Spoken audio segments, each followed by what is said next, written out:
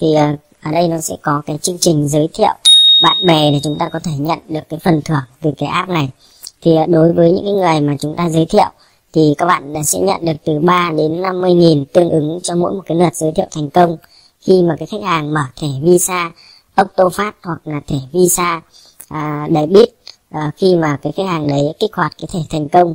Còn à, các bạn sẽ cũng sẽ được tặng thêm là 50 nghìn nếu như mà cái người giới thiệu chi tiêu từ một triệu trở lên khi mà cái thẻ khi mà người ta sử dụng cái thẻ CIMB Bank à, Visa Debit à, trong vòng à, 30 ngày kể từ ngày kích hoạt. Còn à, đối với lại những người mà được giới thiệu thì à, khi mà cái người được giới thiệu nhập cái mã giới thiệu của bạn thì các bạn cũng sẽ cái người được giới thiệu cũng sẽ nhận được từ 3 đến 50 nghìn khi mà khách hàng kích hoạt cái thẻ Visa Octofast hoặc là cái thẻ CIMB Visa Debit và có ít nhất một giao dịch thành công với cái thẻ đấy. Thì cái giao dịch ở đây thì có thể là mua sắm hàng hóa hoặc là chúng ta có thể thanh toán tại các cái trang web trực tuyến hoặc là các cái điểm chấp nhận thẻ ờ, POP.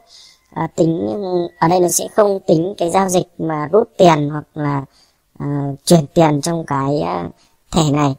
Thì à, à, bây giờ mình sẽ hướng dẫn các bạn à, cách để các bạn có thể à, đăng ký cái tài khoản CIMB Bank.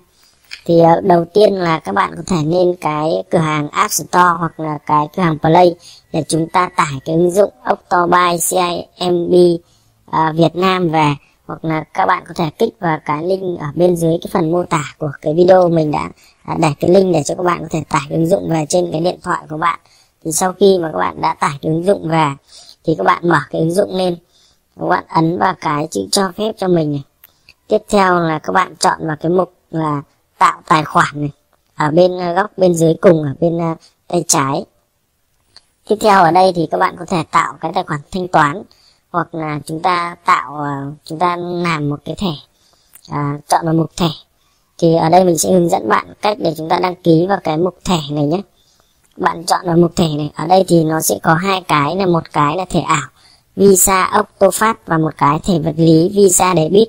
Có nghĩa là cái thẻ ảo thì chúng ta chỉ cần đăng ký online và chúng ta kích hoạt online. Còn đối với cái thẻ debit à, này thì à, các bạn sẽ nhận cái thẻ và các bạn sẽ kích hoạt cái thẻ này à, khi mà các bạn ừ, à, có cái thẻ.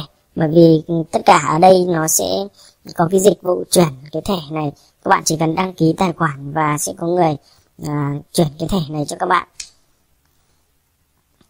Bước tiếp theo là à, các bạn à, chọn ở đây mình sẽ đăng ký bằng cái thẻ ảo Visa Octofast thì đối với cái thẻ à, Visa Octofast này thì các bạn không cần phải gặp mặt trực tiếp. Và cái thẻ vật lý à, và có thẻ ngay trong vòng một tiếng. Có nghĩa là các bạn đăng ký trong vòng một tiếng là chúng ta đã có được cái cái thẻ này rồi. Và các bạn có dùng để mua hàng trực tuyến hoặc là cũng có thể để quản lý cái thẻ trên cái app uh, khi mà bạn là đăng ký trên cái app của mình. Ở đây mình hướng dẫn các bạn đăng ký cái thẻ ảo visa octofast nhé. Còn đối với cái thẻ vật lý visa để biết thì nó cũng tương tự như thế. Thì uh, các bạn có thể đăng ký thẻ ảo hoặc là các bạn có thể đăng ký bằng cái ờ, thẻ vật lý này nhé. Thì là ở đây mình hướng dẫn bạn cách đăng ký thẻ ảo thì bạn sẽ chọn vào cái mũi tên này. Và nó sẽ ra cái phần thông tin cá nhân thì các bạn sẽ điền cho mình số chứng minh thư này, địa chỉ email số điện thoại và các bạn à, tích sang cái nút ờ, màu xanh này.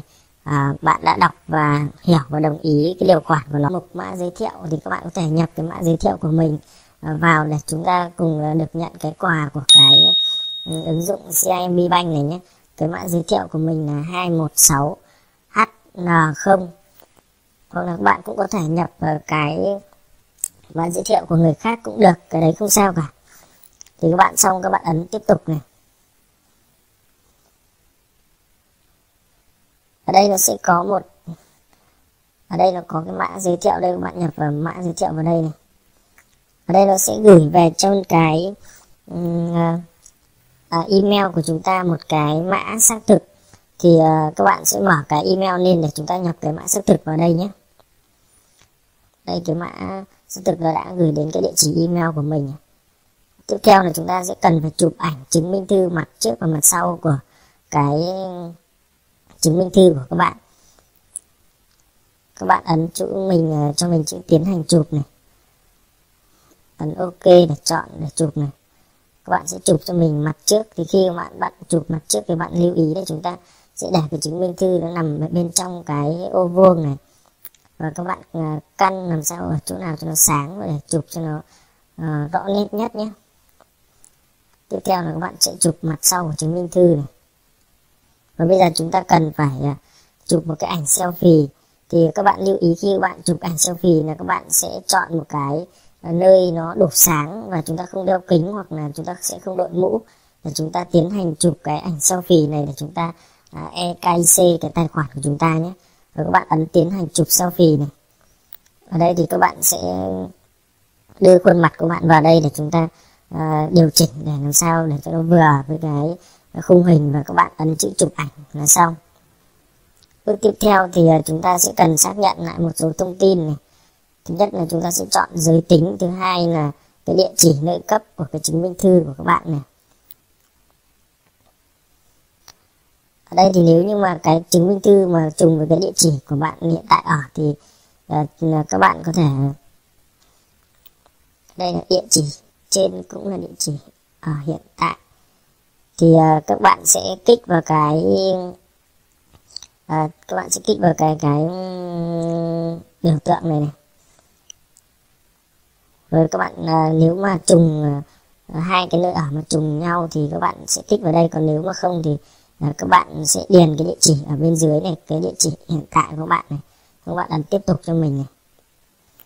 Tiếp theo đây các bạn à, chọn lĩnh vực kinh doanh hoặc à, cái nghề nghiệp của mình. À, rồi tiếp bước tiếp theo là các bạn chọn cái tên đăng nhập. Các bạn nhập cái mật khẩu và cái nhập lại cái mật khẩu. Thì đối với cái tên đăng nhập thì các bạn nhập cho mình là viết liền không dấu và cái thứ hai là đối với mật khẩu thì các bạn nên tạo cho mình một cái mật khẩu ít nhất từ 8 ký tự trở lên và có chữ in hoa, chữ thường, số và ký tự đặc biệt. Rồi các bạn ấn tiếp tục. Ok, bạn cho phép này ấn tiếp tục. Bạn ấn đồng ý với cái điều khoản và điều kiện của cái cái cái ngân hàng này. Và các bạn à, sẽ nhập mã xác thực vào đây à, đến cái bước này thì à, các bạn cần chờ một chút để cho cái app nó khởi tạo cái tài khoản của các bạn nhé. Ok như thế là chúng ta đã đăng ký thành công cái tài khoản của cái ngân hàng CIMB Bank này. Thì trong cái video ngày hôm nay thì mình à, đã hướng dẫn cho các bạn cách để các bạn có thể tạo được một cái tài khoản à, của cái ngân hàng CIMB Bank này.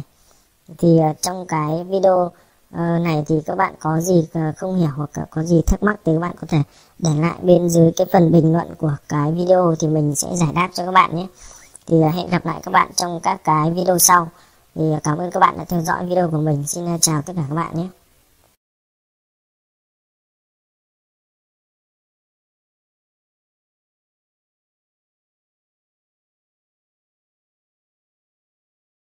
Chào bạn đã quan tâm đến kênh của tôi, nếu tôi đã cho bạn được điều gì hữu ích hãy ấn đăng ký để theo dõi kênh của tôi. Xem video bên trái hoặc bên phải nếu bạn cần đến chúng.